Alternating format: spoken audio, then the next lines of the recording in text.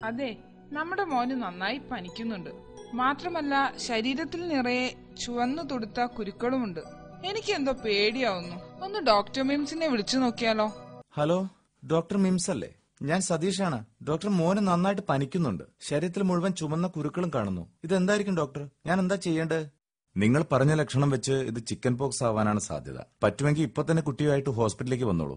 Okay doctor എന്താണ് doctor ഈ chicken pox chicken pox എന്നത് നമ്മുടെ ശരീരത്തിൽ കാണപ്പെടുന്ന ചുവന്നു തുടുത്ത കുരുക്കളാണ്. ചിലപ്പോൾ ഇതിന് ചൊറിച്ചലും അനുഭവപ്പെടാം.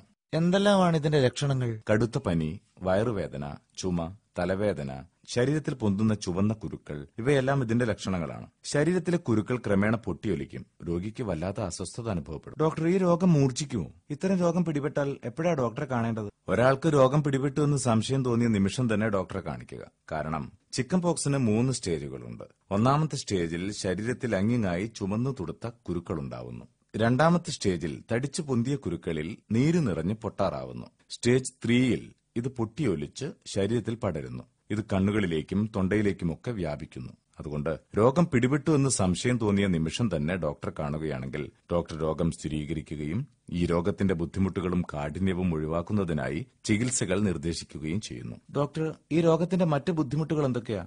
ചിക്കൻ ബോക്സ് ചിലപ്പോൾ രണ്ട് കണ്ണുകളിലേക്കും വ്യാപിക്കാൻ സാധ്യതയുണ്ട്. ശരീരത്തിലെ കുരുക്കൾ ചുമന്നു തുറക്കുകയും ഇവയിൽ ബാക്ടീരിയ മൂലമുള്ള അണുബാധ വരാനും സാധ്യതയുണ്ട്.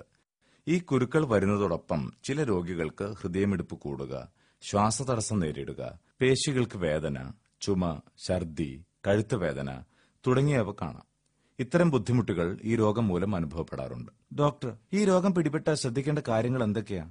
വൈറസല്ല സോസ്റ്റർ എന്ന വൈറസുമായി ബന്ധപ്പെട്ടതാണ് ഈ രോഗം. ഇത് ഒരാളിൽ നിന്ന് മറ്റൊരാളിലേക്ക് പെട്ടെന്ന് പടരുന്നു. രോഗി ചുമയ്ക്കുമ്പോഴും തുമ്മുമ്പോഴും അന്തരീക്ഷത്തിലൂടെ ഈ രോഗം പടരാൻ സാധ്യതയുണ്ട്. അതിനാൽ രോഗിയുമായുള്ള സമ്പർക്കം കഴിയുന്നതും ഒഴിവാക്കുക.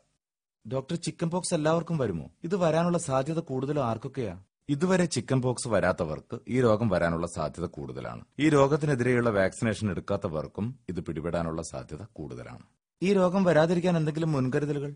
ചിക്കൻ പോക്സ് വാക്സിനേഷൻ എടുക്കുക എന്നതാണ് ഇത് തടയാനുള്ള ഏറ്റവും നല്ല മാർഗം. ഇത് തൊണ്ണൂറ് ശതമാനം വരെ ചിക്കൻ പോക്സ് വൈറസിൽ നിന്നും സംരക്ഷണം നൽകുന്നു. എന്നാൽ ശ്രദ്ധിക്കേണ്ട ഒരു കാര്യം ഗർഭിണികൾ രോഗപ്രതിരോധ ശേഷി കുറഞ്ഞവർ എച്ച് ഐ വി ബാധിതർ ഇവർക്ക് ഇത് നൽകാൻ പാടുള്ളതല്ല.